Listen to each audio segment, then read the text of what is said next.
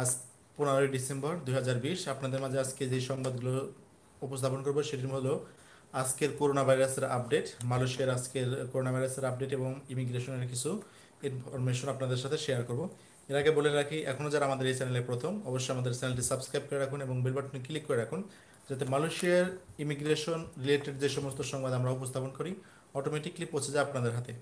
ওকে কে কোথা থেকে দেখেছেন আমাদের লাইভটি আমাকে কমেন্টস করে জানাতে পারেন। এবং কে আমাদের লাইভটি শেয়ার করে অন্যদেরকে জানার সুযোগ করে দিন, যাতে তারাও আজকের আপডেটগুলো জানতে পারে ইনশাল্লাহ আমাকে জানাবেন যে আমাদের লাইভটি কি ক্লিয়ার বোঝা যাচ্ছে কিনা। ওকে তাহলে আমি আজকের যে দুটি সংবাদ আপনাদের দিব। ওকে অনেকেই বলছেন যে বোঝা যাচ্ছে। ধন্যবাদ আপনাদের সকলকেই।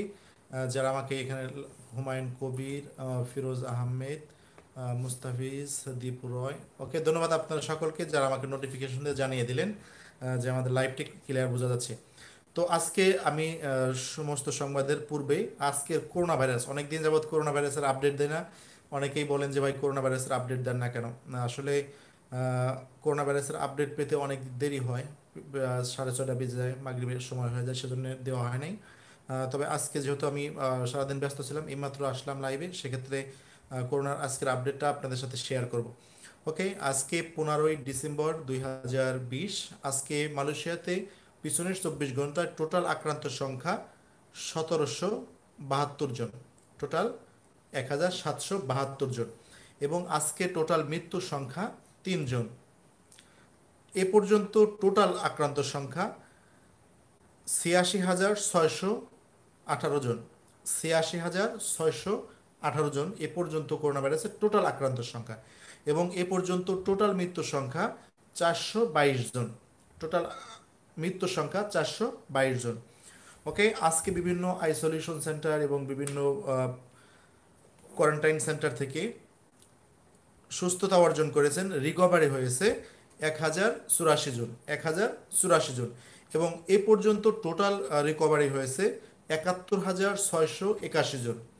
সো আমরা ক্যালকুলেট করে দেখতে পারি, এখন পর্যন্ত অ্যাক্টিভ কেসের সংখ্যা চোদ্দ হাজার পাঁচশো পনেরো জন বিভিন্ন হাসপাতালে, ক্লিনিকে, বিভিন্ন কোয়ারেন্টাইন সেন্টারে চিকিৎসাধীন অবস্থায় আছে। অ্যাক্টিভ কেস আছে চোদ্দ হাজার পাঁচশো পনেরো জন। আপনারা জানেন, ইতিপূর্বে কোয়ালালামপুরে দুইশোর উপরে যায় নাই বা তিনশোর উপরে কখনোই যায় নাই।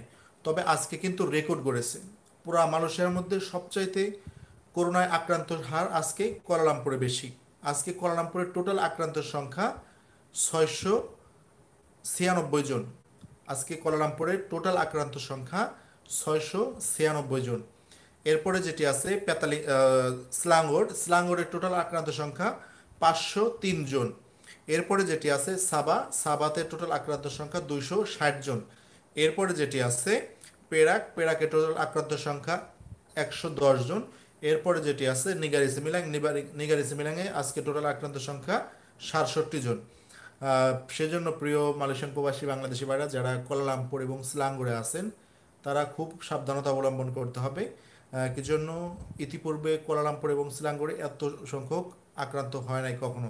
এই প্রথম দেখা যাচ্ছে যে স্লাঙ্গোর এবং কোলালামপুরে এত করোনা ভাইরাসের আক্রান্ত সংখ্যা। সেজন্য যে, যেখানে আছেন এবং কি এই এই দুটি জেলা যেহেতু লোকজনের বসবাস অনেক বেশি, ঘনত্ব বেশি সেক্ষেত্রে সরকারের যে বিধিনিষেধগুলো আছে, আইনগুলো আছে, পুঙ্খানুপুঙ্খানুভাবে ফলো করার চেষ্টা করবেন যাতে আমরাও করোনা ভাইরাস থেকে রক্ষা পাই এবং সরকারের আমাদের কোনো প্রকার কোনো পেরেশানিতে না ফেলাইতে পারে।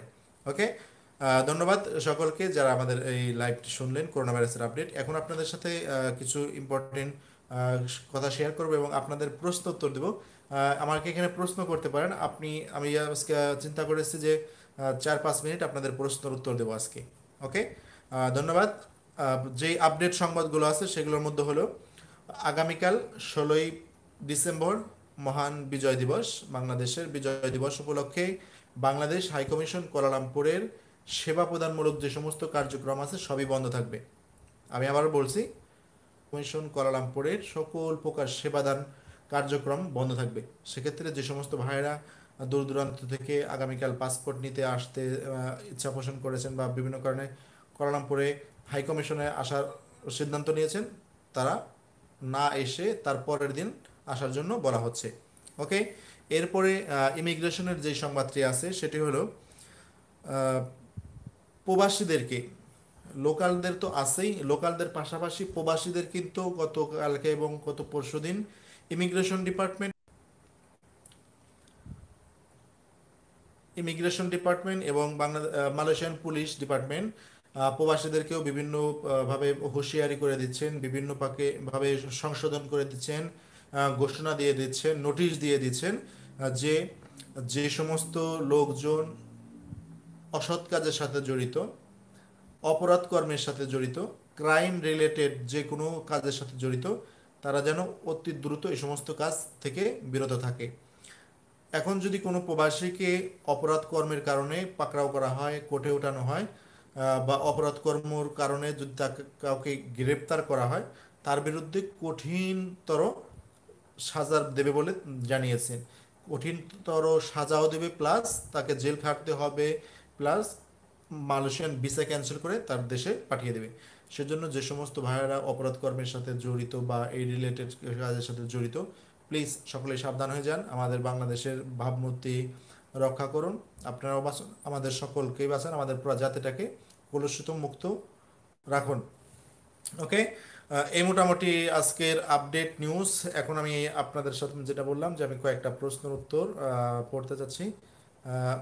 ওকে এর আগে বলে রাখি যাদের প্রশ্ন আছে পাসপোর্ট ইস্যু নিয়ে, পাসপোর্ট কীভাবে রিইস্যু করবেন, অবৈধরা কীভাবে দেশে যাবেন, তিন নাম্বার, অবৈধরা কীভাবে বৈধ হবেন? এই তিনটি বিষয় যদি কারও কোনো প্রকারের কোনো প্রকারের প্রশ্ন থাকে, কোনো প্রকারের প্রশ্ন থাকে, তাহলে আমাকে ইনবক্স করেন, আমাকে কমেন্টস করেন যে আমার এই বিষয়ে প্রশ্ন আছে। আমি এই তিনটি বিষয়ের জন্য তিনটি ভিডিও তৈরি করেছি খুব সুন্দর, নিখুঁতভাবে। আমি ওই তিনটি ভিডিওর লিঙ্ক আপনাদের দিয়ে দেবো। ওই ভিডিওগুলো ক্লিক করে দেখলেই আপনাদের সমস্ত প্রশ্নের উত্তর সেখানে পেয়ে যাবেন। ধন্যবাদ। যাদের এই প্রশ্ন আছে আমাকে কমেন্টস করেন। ওকে অনেকে বলছেন যে ওকে ভাইজান, বোঝা যাচ্ছে ক্লিয়ার বোঝা যাচ্ছে, ধন্যবাদ। ওকে ধন্যবাদ সকলকে।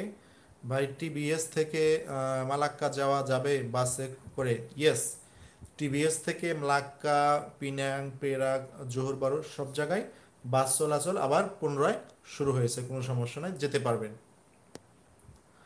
আসসালামু আলাইকুম ভাই, ওয়ালাইকুম আসসালাম। বৈধকরণ প্রক্রিয়া কবে চালু হবে? জি, এটা অলরেডি চালু হয়ে গেছে ষোলোই নভেম্বর থেকে। ওকে ভাই কত কবে ট্রাভেল পাস দেবে? যে আমাকে অফলাইনে এই প্রশ্নটা অফলাইনে করেন, আমি উত্তরটা দিয়ে দিব। একটা ভিডিও করা আছে ভিডিওটা আপনি ফরওয়ার্ড করে দেব, দেখলেই বুঝতে পারবেন সব কিছু ছুটিতে যাওয়া যাবে ওকে, দেশে যেতে টোটাল কত টাকা লাগবে এখন? ওকে, দেশে যেতে টোটাল কত টাকা লাগবে? এখানে যদি বৈধরা দেশে যেতে চায়, তাহলে তো শুধু টিকিট খরচ লাগবে। আর অবৈধরা দেশে যেতে চাইলে তাদের জরিমানা লাগবে। অবৈধদের বিষয়ে আমি একটা ভিডিও করেছি। আপনার যদি অবৈধ হয়ে থাকে, তাহলে আমাকে কমেন্টস করেন, আমি ওইখানে আপনার ওই ভিডিওটা দিয়ে দেবো। পুরোপুরি বুঝে নেবেন ভিডিওটা দেখে। ভাই, বাংলাদেশে অবৈধরা অবৈধরা কত তারিখ থেকে যেতে পারবে ইমিগ্রেশনে। যে এই প্রশ্নটাই আমি অফলাইনে করেন। আমি আপনাকে একটা ভিডিও করা আছে ভিডিওটা দিয়ে দেবো। ভিডিওটা পুরো দেখলে বুঝতে পারবেন। ওকে আসসালামু আলাইকুম ভাই। আমার অক্টোবর মাসের একুশে তারিখে ভিসার মাতি হয়েছে। আমি পাসপোর্ট করতে দিছি। পাসপোর্ট ও হাতে পাইছি। কোনো কোম্পানিতে জমা দেয়নি। বলছি পাসপোর্টের সমস্যা আছে। সমস্যা থাকলে থাকতে পারে, কিন্তু আপনি যে কোনো একটা ভালো কোম্পানির কাছে জমা দেন, দেখা যাক। চেষ্টা করে দেখা যাক যদি হয়, আলহামদুলিল্লাহ। আসসালামু আলাইকুম ভাই কেমন আছেন? জি, আছি, আলহামদুলিল্লাহ ভালো। কলালামপুর শিলাঙ্গর থেকে।